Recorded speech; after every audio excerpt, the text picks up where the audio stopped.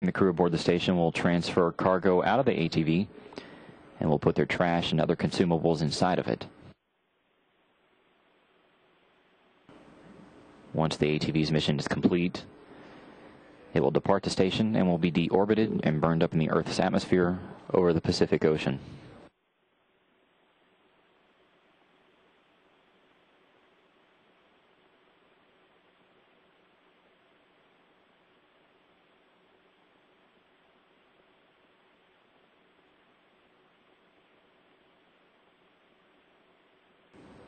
The ATV will launch aboard an Ariane 5 rocket, and the ATV will be the largest cargo that that rocket has ever carried into orbit.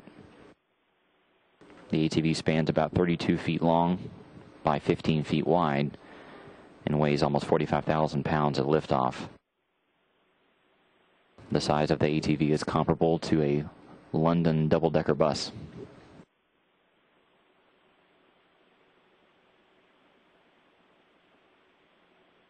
We'll take a moment to show you more information about the Jules Verne ATV and its capabilities.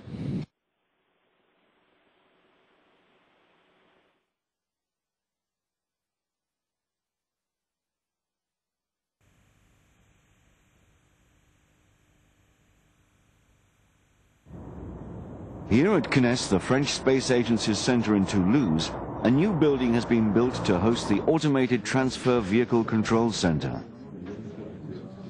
ATVs are Europe's first space cargo vehicles, as Lionel Baize, ATV project manager at explains.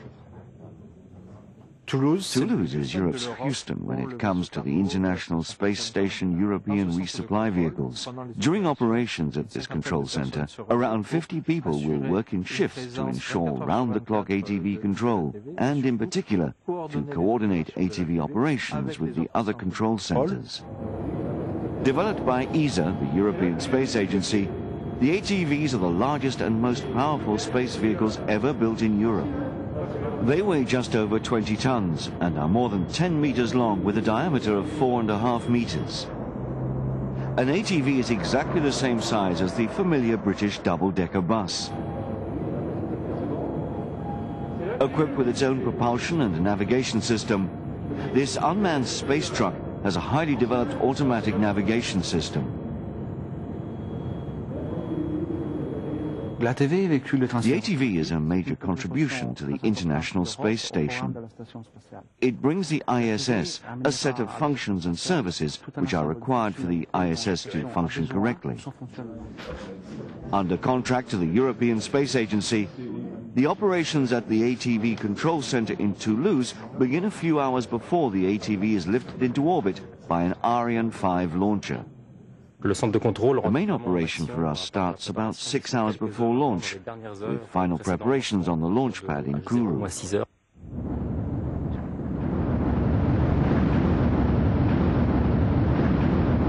No fewer than three control centers around the world are simultaneously responsible for ATV operations.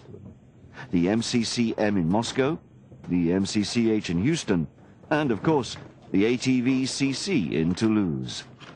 At each of these control centers, American, European and Russian engineers coordinate their actions. I am here from NASA as one of the representatives. I am the Automated Rendezvous Officer. Our main function here is to help coordinate the rendezvous timeline and the overall integration with the ISS operations and the ATV. Even though the ATV is an automatic space vehicle, ground control still remains heavily involved. The vehicle isn't entirely automatic, it's automated. That means that it's capable of reconfiguring itself on its own. But the control center must not only oversee the ATV, but also determine the route it must take to dock with the space station. To do this, we must not only optimize the trajectory in terms of fuel consumption, but also take all the decisions. For example, the maneuvers necessary to approach the space station. And this set of maneuvers is relatively complex and it needs a control center to work them out. These final maneuvers are carried out with extreme precision. The degree of precision required is more or less equivalent to a euro coin like this. That's to say, this 20-ton ship will be automatically docked to the space station and achieve this level of precision. Once the ATV is docked, the astronauts can unload the five tons of cargo on board. This includes scientific equipment, food, water, and even air. The rest of the payload, a little less than three tons, is fuel needed by the ATV engines. The ATV carries about three times the weight in terms of cargo of the Russian Progress ships. So you can imagine the economy of scale we have. One ATV launch can take the place of three launches by the Russians. However, the ATV is not just a cargo vehicle. Once it has docked at the space station, it becomes an integral part of the whole ISS system, always under control by the center in Toulouse.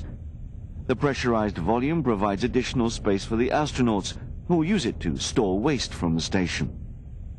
Its engines and the three tons of fuel will be regularly called upon to raise the altitude of the space station. And in an emergency, this space tugboat will be invaluable in preventing collisions with potential space debris. After six months, when its mission comes to an end, the ATV, filled with several tons of waste, will separate from the space station and begin its return journey under the watchful eye of the control center, before burning up in the atmosphere above the South Pacific. 12 to 18 months later, another ATV will go up to the International Space Station to take its place.